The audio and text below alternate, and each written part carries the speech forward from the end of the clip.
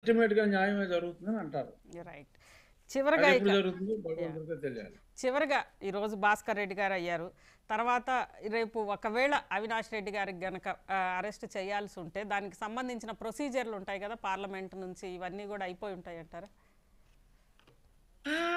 Arrest చేసిన తర్వాత intimation నేను ఈ రోజు కూడా మాట్లాడా స్పీకర్ ఆఫీస్తో ఉమ్, ఉమ్, ఏంటి ఏమన్నా వచ్చిందా ఇలాంటిదని లేదండి మీ అరెస్ట్ అప్పుడు కూడా మీది అరెస్ట్ చేసిన తర్వాత ఒక రోజు తర్వాత మాకు ఇంటిమేషన్ ఇచ్చారు.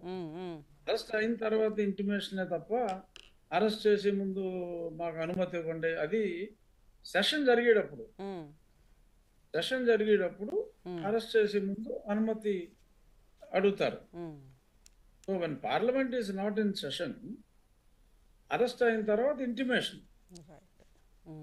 It's only an intimation అంటే రైట్ చివరిగా ఏమంటారు రఘురామకృష్ణరాజు గారు? మొత్తం మీద ఇంకెన్ని రోజులు నడుస్తుంది ఇది? మీరు అన్నట్లుగా సెకండ్ అంటే ఈ సెకండ్ పార్ట్ ఈ నెలాఖరు దాకా అయితే నడవాలండి. ముప్పై తారీఖు చార్జ్ షీట్ వేస్తామని అన్నారు కాబట్టి అది ఫైనల్ చార్జ్ షీట్ కాకుండా just almost ninety percent completed charge sheet అవుతుంది. ఎందుకంటే ఈయన విదేశీ యాత్రకి వెళ్ళిపోతున్నాడు కాబట్టి. ఇతను విదేశీ యాత్రని రద్దు చేసుకుని సహకరిస్తే ఒకవేళ ప్రమేయం లేదని చెప్పడానికి ఒక అవకాశం ఉంటుంది. ఉంటే ఉందని అంటారు లేకపోతే లేదని అంటారు వాళ్ళ అవైలబిలిటీ లేనప్పుడు